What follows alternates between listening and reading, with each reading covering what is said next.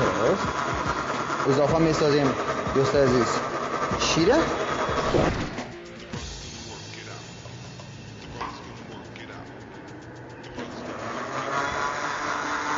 روغن؟ اضافه می‌سازیم. روغنه.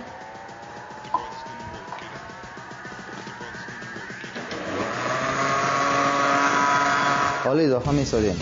کشمشه. اضافه می‌سازیم چهار مغزه. بادامه. میگذاریمش که خوب دوست عزیز مخلوط شود. خب دوستای عزیز برای سه دقیقه مخلوط شد می‌تونید چهار دقیقه بگذارینش که خوب بادام و چهار مغز چهار مغز و کشمش خوب حل شود. باز بدن اضافه می‌سازیم. یک قاشق دو قاشق پودر کیک.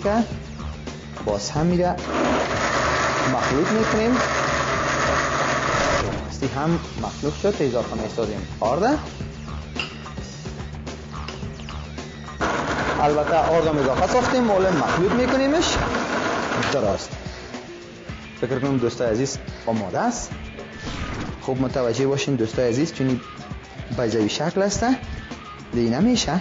ما میره یک تکنیک دیگه می‌زنیم که اگر شما از قالبای کیک داشته باشین می‌تونین به این شکل شما پخته کنین. به خاطر که مرخ گلاب یا وانیلا یا مانه را دیگه اضافه می‌سازیم یک مکسش می‌کنیم و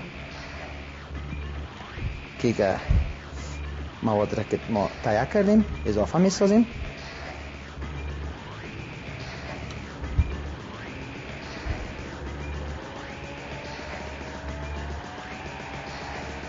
کیک آماده است سیره قبلا ما داش داغ کردیم دیگه در داش می‌گذاریم برای 45 دقیقه.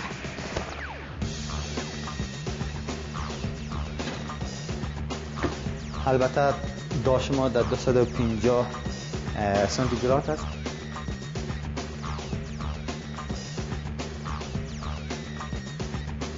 درست. کیک آیسته پخته میشه. دوستای عزیز یک داشته باشین که هیچ وقت وقتی که شما کیک میپزین داد بعد از 10 دقیقه بعد 20 دقیقه بعد باز نکن. چرا هوای هوای یخ اگر داخل داش شد کیک پس میشه بنا شما می‌تونید بعد از 35 دقیقه الی 40 دقیقه می‌تونید داش واس کنین و ببینید چکش کنید که کیک پخته شده یا نه.